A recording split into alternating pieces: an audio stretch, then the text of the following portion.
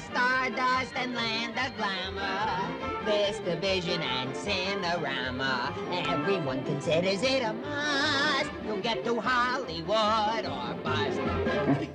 Kids from Kansas to Pennsylvania soon develop that movie mania, riding their jalopies through the dust and route to Hollywood.